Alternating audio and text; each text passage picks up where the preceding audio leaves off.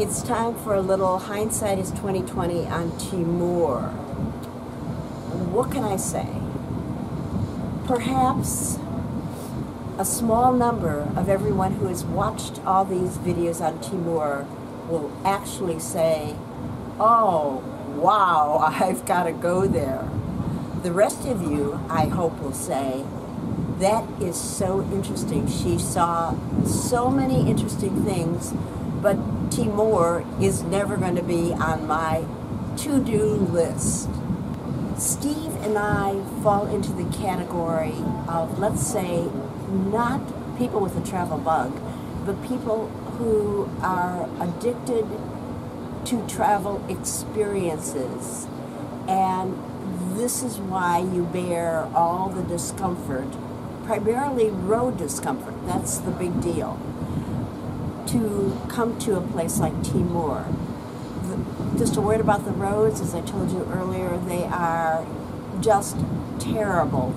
Timor is a very hilly island and you will ride for hours over like this S, S, S, S, S, S, hour after hour after hour on almost non-existent roads. Very difficult. As a matter of fact, the two of us have what I refer to as, you know how when you're at sea for a long time and you get your sea legs and come to land?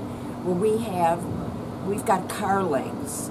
Everything is still moving underneath us every time we get out of the car if you're not able to relieve yourself along a road, behind a bush, a tree, or some grass, don't even think about coming to some of these remote areas because you are not going to find a toilet.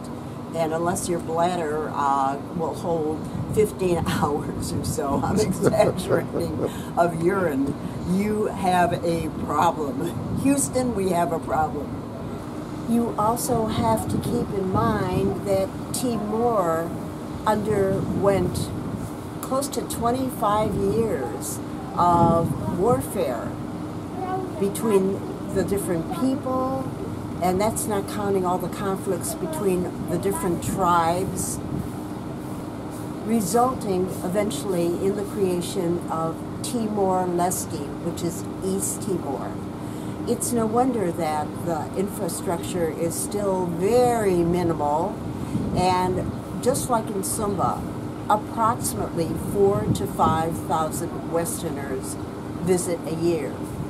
As a matter of fact, in the village that we went to, Guide Martin's village, we were the first Americans since 1962 don't worry about the food in Timor.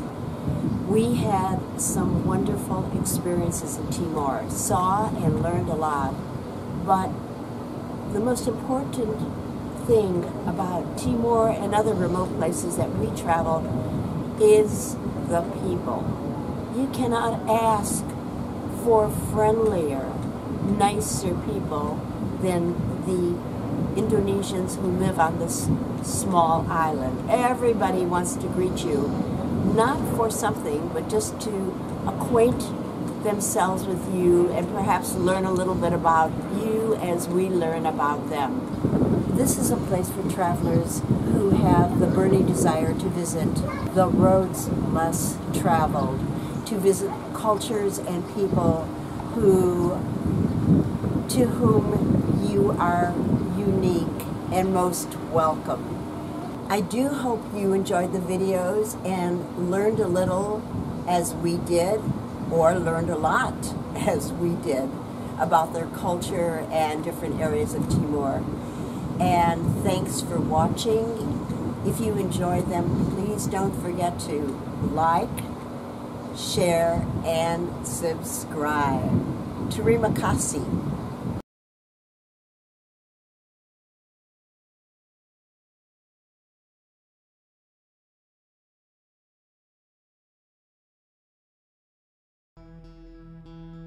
you